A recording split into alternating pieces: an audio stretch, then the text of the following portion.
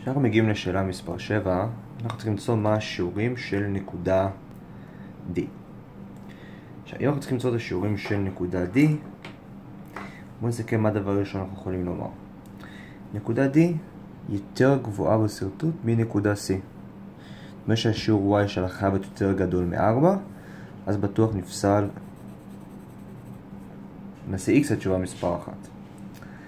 עכשיו, עדיין אנחנו צריכים למצוא מה השיעורים שלנו, והאם x זה 4 או x זה 5.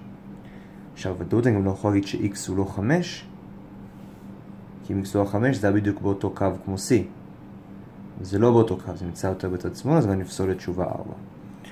עכשיו, אני יודע שהצורה פה היא מלבן. מלבן, צלעות נגדיות שוות. כשנמדע מה האורך של BC, נוכל למצוא מה האורך של AD, ואז אני אדע מה השיעורים של נקודה D. בואו נמצא את האורך של BC.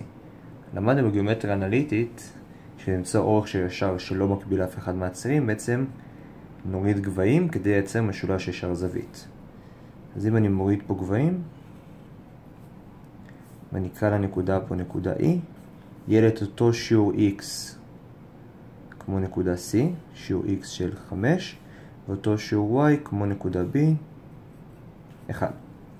ושהאורך של BE מ-x2 ל-x5 זה 3, והאורך מ-E ל-C זה מ-y4 ל-y1, האורך זה גם 3. עכשיו שים לב שקיבלנו פה 3 ו-3. ושגם אם אני מייצר פה עכשיו משולש ישר זווית, נקרא לנקודה פה נקודה F, אני חייב שיהיה פה אורך של 3 ואורך של 3. אז בואו נראה איך אני מקבל את זה. כדי לקבל 3 מ-A ל-F על פי ה-Y, מ-Y2 לאורך של 3, אני צריך שיהיה לי פה Y5. בגלל שזה נמצא פה על אותו קו, יש לנו את אותו שיעור X, אז זה 1. נקודה F פה היא 1.5.